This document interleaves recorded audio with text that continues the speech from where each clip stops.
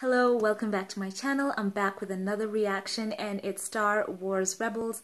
I loved where the last episode left off. It was a bit of a curveball in my opinion, but it was the right thing. Sabine leaves the Rebels and stays with the Mandalorians to fight the Empire and that was just such a great episode. So many moments that I could point to, but I am looking forward to what the rest of the season has in store. There is yet to be that Obi-Wan reveal and I'm so excited for that. But we'll see. Let's go straight into this in three, two, one. let's go.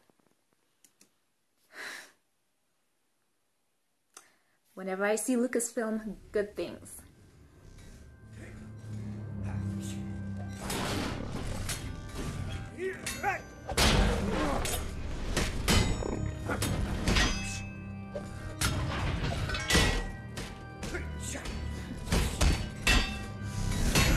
Whoa. Override quote. Rock.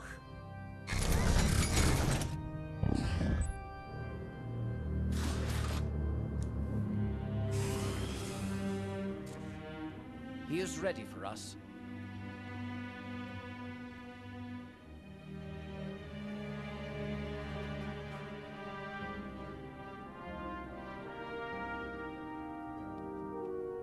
Colonel Yularen.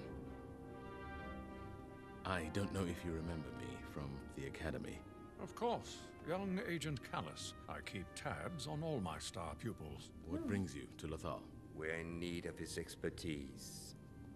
There's a rebel spy in our midst, codename Fulcrum, and perhaps today we're going to learn their true identity. Oh my. dun dun dun. This sounds so ominous for Agent Kallus. He has his hands full in this episode for sure. I am officially excited for this. I feel like it's gonna be a really probing and rich episode this one so I I am looking forward to it. Let me know in the comment section what stood out to you. I would love to read your thoughts and if you like my reaction don't forget to give it a thumbs up, click subscribe if you're new here.